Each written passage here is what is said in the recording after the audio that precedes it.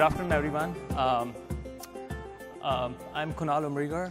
I am working as a director of technology uh, at PubMatic. Uh, I look after uh, the big data and analytics division, so I'm basically responsible for the big data platform, which crunches petabytes of data, uh, you know, uh, for, for our, uh, you know, ad server. So uh, along with me, I have Amit Kumar, who is a senior principal uh, software engineer, who is responsible for designing and developing uh, the big data platform, you know, uh, batch and real time. So um, what we are going to, uh, you know, cover in this talk is basically overview of PubMatic. So we'll go over in, in brief about what is PubMatic, what does PubMatic do, our big data and analytics platform, and some, you know, uh, scale, like how, what the, what's the scale of data that we handle and uh, what is our over, overall platform looks like. We'll cover our real-time use cases, and then uh, we'll cover, um, so Amit will basically cover the real-time uh, architecture, uh, which we have you know, uh, built using Data Torrent and Apex. So to go over like the question, who is PubMatic? What is PubMatic? So PubMatic is a leading advertising technology company which uh, serves publishers around the globe. So we have a proprietary ad engine which optimizes yield for publishers um, you know, by selling their inventory, by selling their ad inventory to the potential buyers. So what does that mean exactly? So uh, these media, there are a lot of media websites, uh, e-commerce websites, or any content provider websites, basically.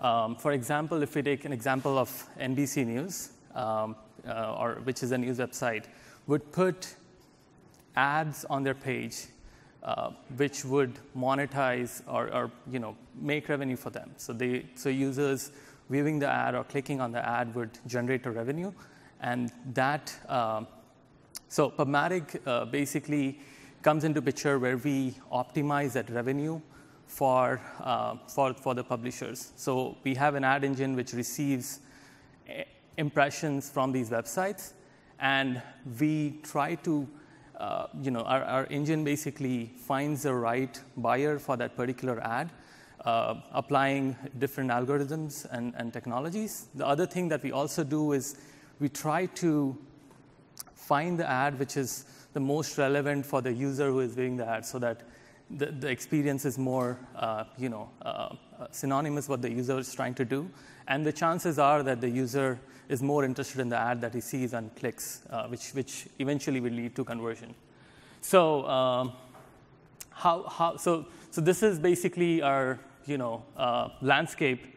Uh, there are tons of different products that we you know, work on. So typically inventory, inventory pricing and packaging, uh, we do brand protection for pub- publishers, so we make sure our, our engine you know, uh, scrutinizes every creative or every ad that shows up and doesn't you know, allow any malware or any, any fraud uh, you know, uh, impressions. Also, um, uh, you know, we, we cover different uh, you know, devices. So we have um, impressions coming from not just websites, like the display websites, but mobiles, mobile apps, even SDKs, uh, um, you know, which are integrated with the platform. So, so uh, okay, coming back to big data, how does PubMatic use big data, or what is what is what are the use cases that PubMatic uh, has for the uh, big data? So, uh, big data basically powers, um, you know, most of our algorithms that we do. So, the, so we have the optimization algorithms, which are powered by our big data. So we, we also our machine learning algorithms, which are basically doing a predictive analysis of how a, how a particular uh, you know, inventory has performed in the past and how is it going to perform you know, in the future, um, as well as you know, uh, detecting whether a particular impression is of a certain value and you know, pricing that impression accordingly using our you know, uh, algorithms. Our, our big data platform provides in-depth, uh, you know, an in-depth reporting to our customers as well as our partners. So we have dashboards which will allow you to slice and dice and you know, uh, provide a lot of transparency into how the auction is you know, going on and what are uh, you know, the performance metrics that you, and, and you, can, you can basically, uh, you know, uh, even the, the customers and the partners, they can uh, log in and they can uh, you know, see, see those insights. It also you know, enables ad hoc reporting, which is um, you know, typically used by uh, our analysts and data scientists, which take day-to-day decisions in terms of optimizing the inventory. Um, so to give some of the scale that we handle at PubMatic, so we receive more than 40 billion transactions or impressions per day, which, which in turn uh, you know, uh, boils down to like 500 million transactions that we analyze. This is on daily basis. We collect around 30 TB of data per day, uh, which is from various forms. So the largest uh, uh, form of our data is basically our own ad engine, which generates auction log, which, which might even have like more than 250 fields at times. Um, we have a huge Hadoop cluster.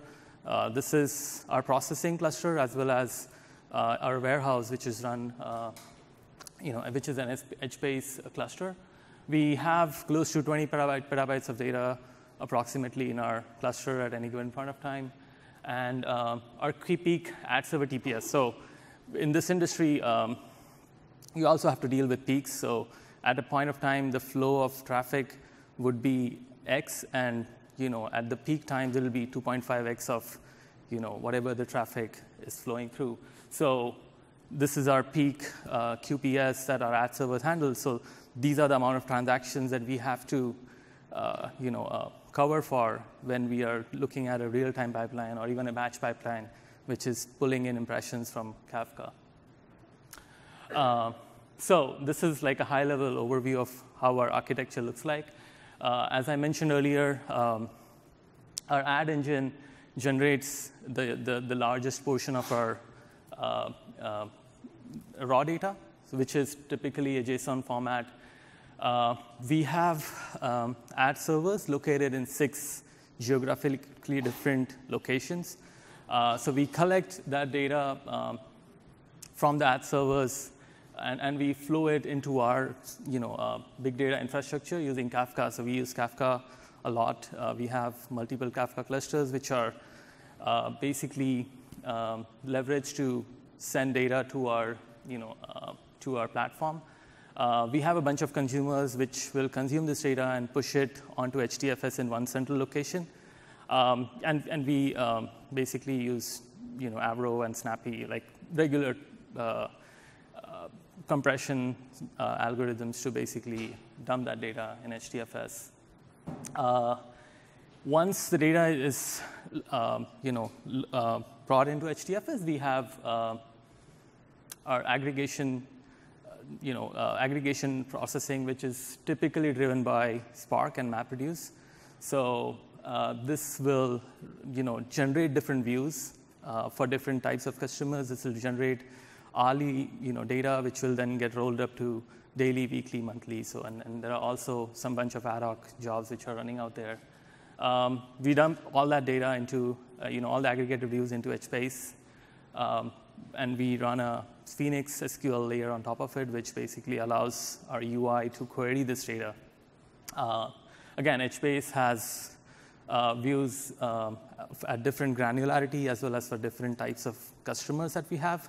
Uh, and it also stores multiple terabytes of data at any given point of time uh, with an SLA. So every view has, you know, uh, has its own SLA after which we prune that view uh, uh, the second part uh, is basically the streaming use case. Um, so one of our logs, which is, you know, so we also generate data when someone actually views that using, you know, pixels or beacons which are fired and which will generate like a URL, a snippet, which, which is actual raw data.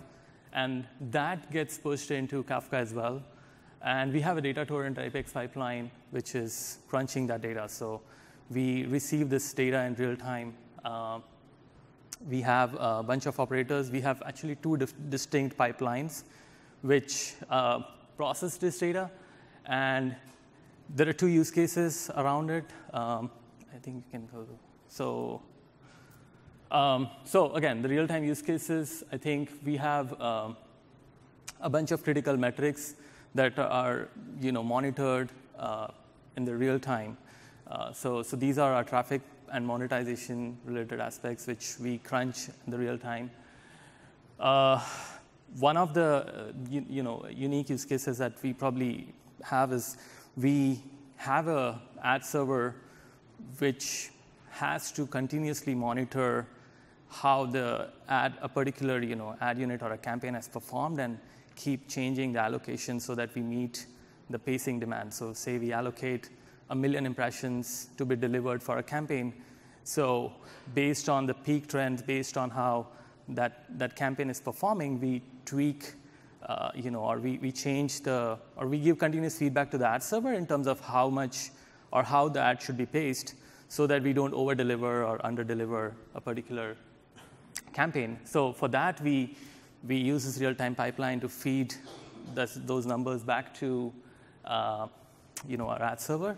And um, based on that, uh, the ad server would take decisions. Um, we also have a bunch of integration. So I think real-time reporting is a quick win when it comes down to you know, a new integration that we are testing. And as soon as we, we make it live, we are able to see impressions or you know, coming on our dashboards within a minute, which is a good sign because we can catch issues or we can troubleshoot issues immediately and then you know, resolve them or take actions accordingly. And then we have alerts on the traffic velocity and as well as the revenue. So if we see a sudden drop uh, in the real time, uh, it's a good sign for us to immediately go and look at, hey, whether the whether there's some issue with that server or is whether you know there are some other systems which are which are you know uh, not not not performing at the way they should be. So so yeah, so these are our real-time use cases. Um, so to give more details on the real-time pipeline and, and the architecture, I think I'll hand it over to Amit. Thanks. Thanks, Kunal. Um, so um, as Kunal mentioned, right, so there's um, a batch-oriented um, compute part of the platform, and there's a real-time aspect to it. And what we're going to cover today uh, from now on is going to be more on the real-time aspect. And uh, the use case on the real-time is uh, the data that is uh, the bid data, which have um, been successful in the bidding um, process. And that's a small portion of the main data. So um, we have about 40 billion or so transactions per day. Uh, out of that, approximately around um, 2 to 3 billion is what comes through the system. And this is where we use uh, data torrent, um, real-time cap capabilities using the Kafka uh, ingest and uh, the real-time pipeline. So quickly going through it. Um, so we have the ad servers on the left. Um, they have been dumbed down, but they actually are doing a lot of work there. And this is across multiple uh, data centers based on geographies. Um, and the second uh, input to our to this real-time platform is the client logs that comes off of the CDN network. Um, and they all go into a Kafka cluster, which is DC specific. So um, think of this box as being replicated across various data centers. And each of that um, Kafka cluster now go to a ETL operator. Um, so on the right side, uh, that is a centralized um, system uh, which is running the um, our uh, data torrent app and data torrent platform. Uh, so we have multiple uh, actions that happen through. So there's a decompression and flattening out of data because the data that comes in are, um, is equivalent to a CSV. It's basically ampersand and pipe delimited. So you need to parse through each of the data items that come in at real time, um, flatten it out, and then create a filtering mechanism. So there is some filtering that happens based on bot filtering and a few other filtering that we have to um, take out some uh, not really realized money and uh, bids and such. Um, after that, we aggregate the data to create various dimensions that is going to be used later on for reporting and also for ad hoc reporting. Um, and then once the aggregation has been done, it's stored in the in-memory store of data torrent. And that is where we use the uh, memory capability of data torrent to be able to store everything in memory and have the data available for real-time apps as an uh, on-demand basis. Um, the way the query works is the middleware, which is to the bottom right, is actually a component which makes a call to the Kafka cluster if there is a request to be processed, as in it needs data on a certain dimension, which might be a customer or any other kind. It's going to query the cluster. It's going to store um, query the dimension store, which is the which is based off of data torrent, and then the data torrent application will load it back into the Kafka cluster to be consumed by the middleware. So this is kind of the data pipeline that we have going on. But the important part is the uh, aggregation part, the data ingest. That is where the lot of the load uh, is handled. The querying part is kind of not heavily um, loaded, so to speak, but the important part is to get the real-time insights, the real-time storage, um, and real-time processing. So if you go to the next slide. Um, so quickly talking about the install footprint, we are currently using around 48 nodes, um, which amounts to about a terabyte of uh, store in memory. And of course, it's backed up on disk. So uh, Data Torrent uses HDFS and other file systems. So it first backs up to local file and then backs it up to HDFS. Um, but most of the data is in memory, and uh, so we'll go through some of the lessons learned and stuff towards the end. But um, this platform is handling about 2 billion, 2 to, 2 to 3 billion transactions or impressions per day. Um, and uh, this is kind of a footprint that we can see. Uh, you can see around 207 processed messages per second. This is kind of uh, output from yesterday around 10 a.m., which is kind of a busy time for us because there's a lot of folks in the East Coast and uh, all different time zones. People are all, um, you know, clicking away, so to speak, right? Yeah. So um, if we go to the next slide. So this is our um, feedback engine. Uh, this is a real-time ad server uh, feedback engine. So in short, what it does is it collects all the data from the ad server, and then it creates um, feedback loop to show how you know, their data is being used and how busy it is. Um, so for that, we use a multi-Kafka input um, operator. And what that means is uh, this, uh, the Kafka cluster that we have, which is on the ingest side, um, can take inputs from multiple uh, Kafka locations, which are on, uh, distributed on multiple data centers. So, so this operator is um, sitting on the data torrent um, server servers, and uh, it consumes from multiple Kafka clusters. And uh, to quickly um, double click on that, uh, what it means is that it needs to keep track of till what time it has progressed uh, in a queue and be able to play it back or read it from the same sequence if it goes down. If either the Kafka cluster goes down or the data torrent app goes down, it needs to be able to replay it from the time it stopped. So it's kind of a um, safety mechanism in case there is a failure of network or any other um, situation. Um, so it goes through that, and then it computes the so similar pipeline. So it processes the events, goes through the dimension computation, and then stores the um, the results, right? And then um, this is um, is kind of a uh, summarization and aggregation routine wherein the data is crunched down quite a lot. So as a result, we are able to store it in a MySQL kind of a store. So we have a JDBC operator at the end.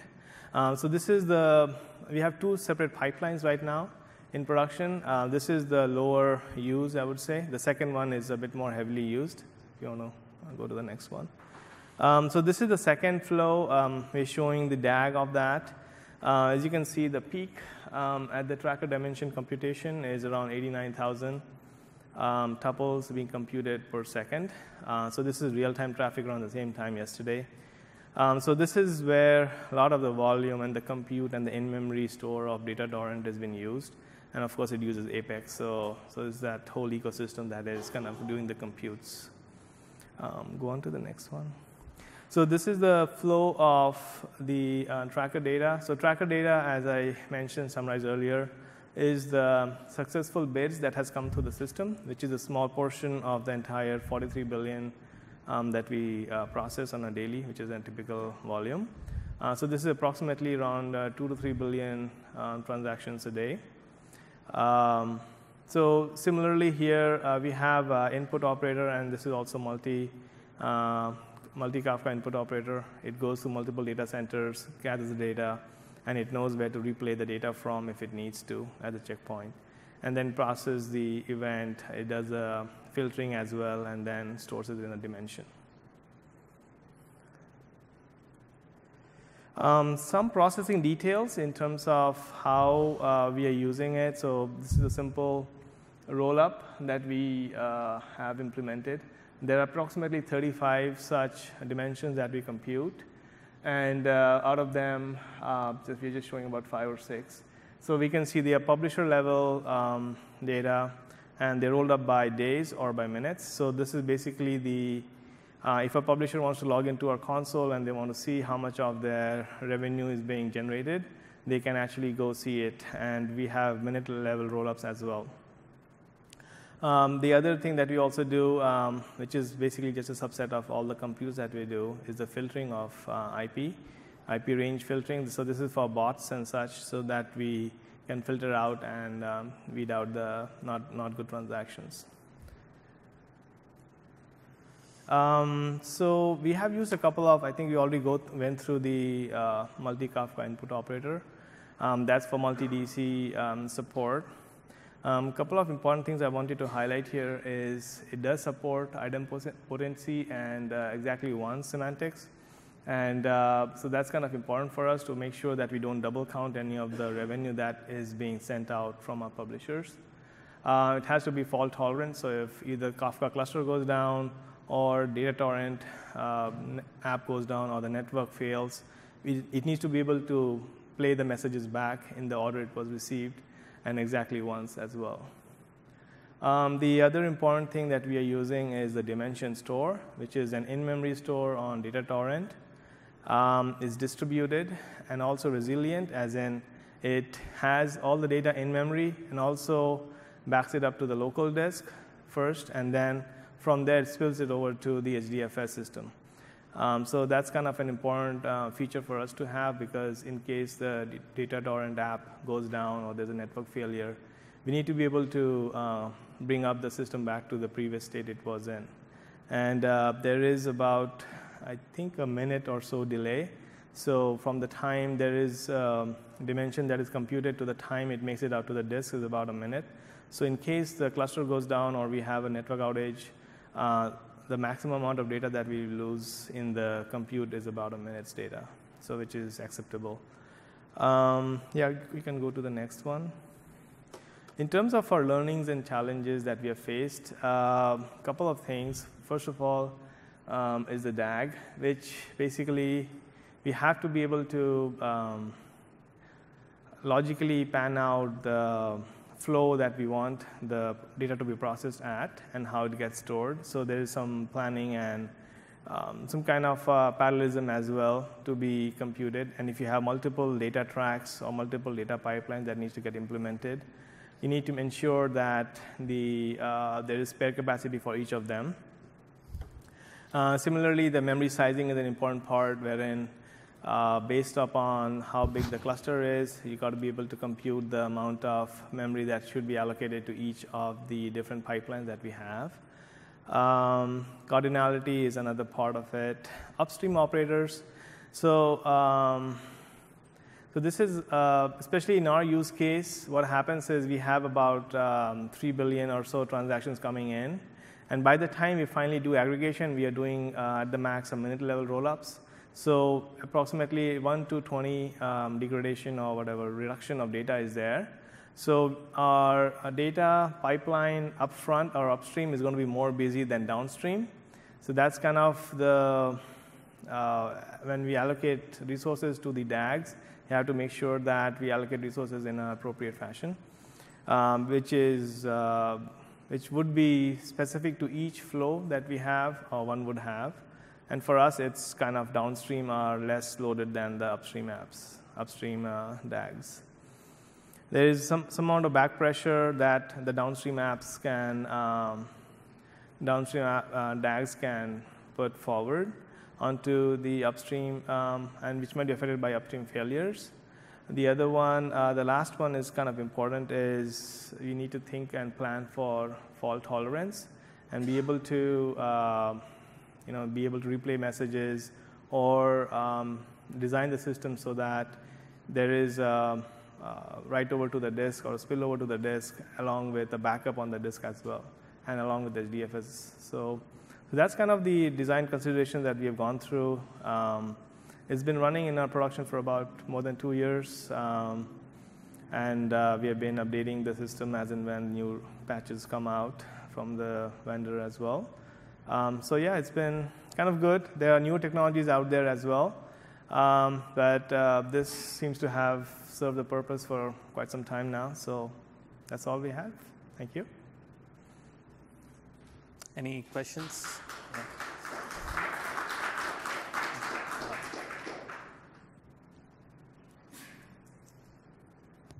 Thank you. Thank you for a great talk. Uh, so your uh, real-time pipeline seems to have two components. One is coming from the client, mm. and the ones from server. Assuming there are latency staggers there because the uh, you know cloud-based client is probably not the simultaneously sending these uh, logs along with the server. So how do you handle it in inside Apex with the streams having time stagger in them in terms of computation of dimensions or, and or facts? Or is that not a problem for you? So um, right now, I think there are two different streams, but they are still based on similar form of data. So we have, uh, so we are not today doing uh, like a merge or a join between two sets of data. We have two separate streams. One which is our uh, you know, at the client side logs. The other one is also a similar log from a different system. So we have a guaranteed uh, ad server which is feeding into the uh, feedback loop. So where we are uh, allocating or where we are calculating the aggregates and then feeding it back to the ad server. That's a separate pipeline, and then we have a separate pipeline which is, you know, our, our you know our uh, uh, ad server, the other other part of it, which basically uh, is is doing all the real time graphs and stuff on you different. Do not have a reconciliation problem between the two streams. Probably. Yeah, the, so two, two, the two pipelines are two separate things. They are two separate use cases, so they're not as such connected. So they're not doing yeah. any joins or some. some there are two different sets of data. So yeah, I mean, we have had this uh, discussions over the past, like how do we dedupe and show like uh, uh, you know uh, numbers from server and the client side, but we haven't we haven't gone there so far. Yeah. So it's a tough problem to solve. Yeah, it's a tough yeah, problem to solve. It's tough problem to solve.